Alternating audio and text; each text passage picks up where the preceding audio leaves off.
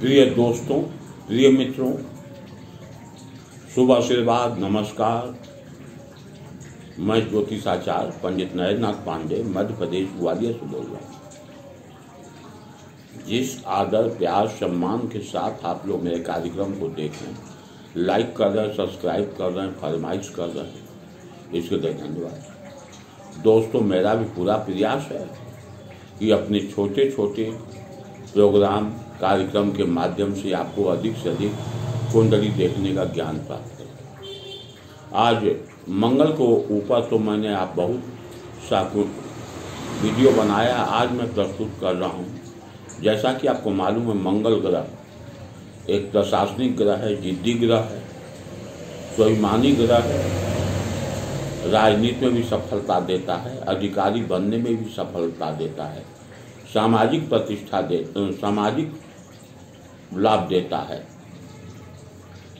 कुंडली के किन किन भाव में मंगल ग्रह राजयोग के समांतर सुख देता है,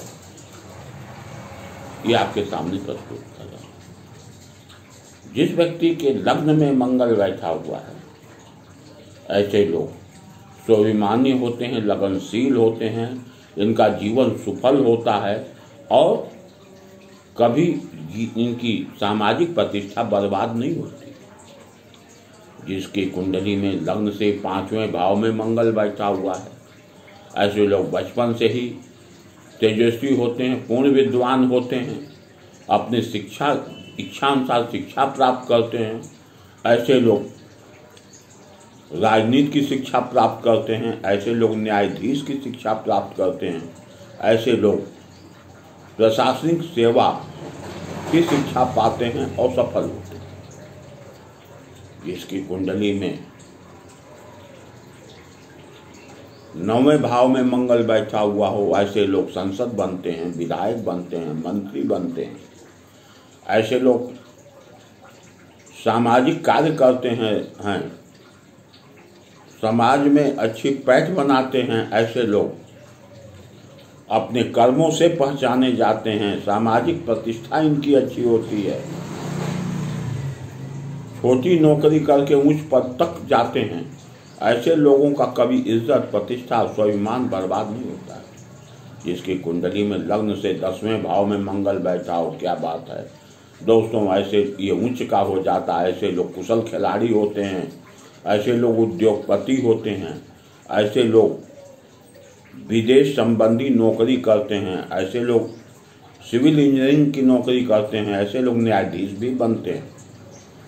जिसकी कुंडली में लग्न से ग्रहवें भाव में मंगल बैठा हुआ है।